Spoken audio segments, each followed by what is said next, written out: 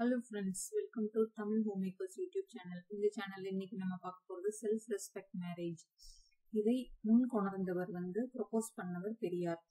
ஆஹ் திராவிட முன்னேற்ற கழகம் ஆயிரத்தி தொள்ளாயிரத்தி அறுபத்தி ஏழுல ஆட்சி அமைத்த பொழுது அறிஞர் அண்ணா அவர்கள் போட்ட முதல் கையெழுத்து இந்த சுயமரியாதை திருமணத்திற்காக.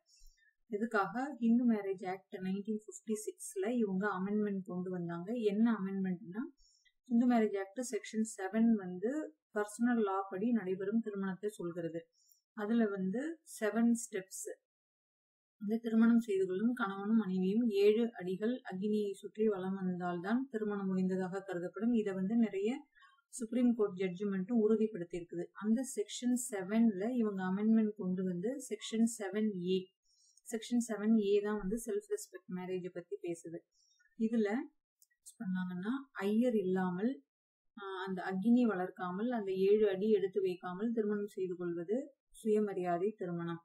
அப்போ என்ன பண்ணுவாங்கன்னா டிக்ளரேஷன் டிக்ளரேஷன் வந்து அந்த திருமணம் செய்து கொள்ளும் ஆணும் பெண்ணும் கணவன் மனைவியாக ஏற்றுக்கொள்கிறோம் அப்படின்னு ஒரு டிக்ளரேஷன் பண்ணிப்பாங்க. ரிங் மோதிரம் மாத்திக்கலாம் மாலை மாத்திக்கலாம் இல்ல தாலி போட்டுக்கலாம். In front of the relatives and friends உறவினர்கள் முன்னிலையில் இந்த திருமணம் நடைபெறும்.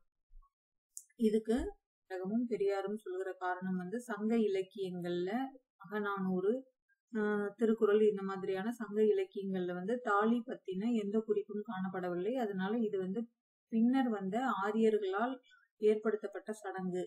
இது வந்து தமிழர்களுக்கான சடங்கு அல்ல அப்படின்னு சொல்லிதான் இந்த செல்ஃப் ரெஸ்பெக்ட் மேரேஜை கொண்டு வந்தாங்க.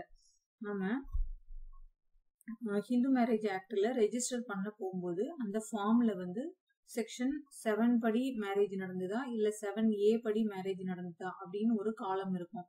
நம்ம அந்த காலமை டிக் பண்ணிட்டு அதை சுயமரியாதை திருமணமாக நம்ம ஹிந்து மேரேஜ் ஆக்டு கீழே ரெஜிஸ்டர் பண்ணிக்கலாம்.